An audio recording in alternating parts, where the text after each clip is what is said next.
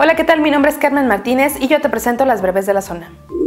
La presa de Ojo de Agua, además de ser un sitio donde familias disfrutan de su espectacular paisaje, se ha convertido en un lugar inseguro debido a que durante los últimos meses los hallazgos de cuerpos han atemorizado a sus habitantes. Para los vecinos de Ojo de Agua, el lugar comienza a convertirse en un tiradero de cuerpos debido a los registros que comienzan a ocurrir en las cercanías de la presa. El hecho más impactante de los últimos días en las cercanías de este lugar ocurrió el pasado martes 26 de marzo cuando un estudiante de secundaria encontró el cuerpo desnudo de un hombre al que asesinaron de varios balazos en la cabeza. Hasta la fecha nadie lo ha identificado y para los habitantes eso es malo, ya que significa que la víctima no era de la zona.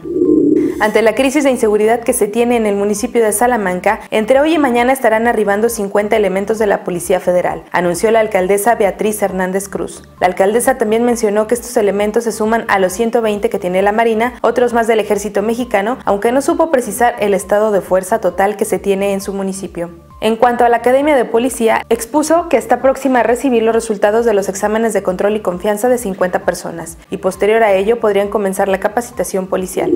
La Casa Museo José Alfredo Jiménez ya se encuentra lista para recibir a visitantes tanto nacionales como extranjeros, que se espera sumen 14.000 turistas en esta temporada de Semana Santa y de Pascua. En este lugar nació el 19 de enero de 1926 el gran compositor dolorense que hizo sus estudios primarios en la Escuela Centenario, que se encuentra frente al lugar que lo vio nacer. En el museo, con ocho salas, cada una con el nombre de una canción, la gente podrá encontrar objetos personales y el gran legado musical del cantautor, que ha sido reconocido como una figura de talla mundial y máximo exponente de la música vernácula mexicana.